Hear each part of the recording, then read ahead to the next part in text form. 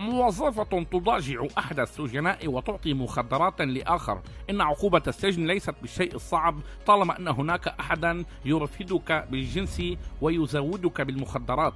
داون بريغمان هايس أم من مدينة ميرت في نورث كارولينا وتعمل بالإطعام والطبخ في منشأة سجن مقاطعة بالميكو على ما يبدو لم تكن هايس تطعم الجياع فحسب بل تشبع رغبات السجناء الممحونين وقد تواجه الآن ست تهم بعد أن سدت رمق أحد السجناء الممحونين كما وقد كانت طيبة كفاية لتوفير احتياجات من نوع آخر مثل الحشيش.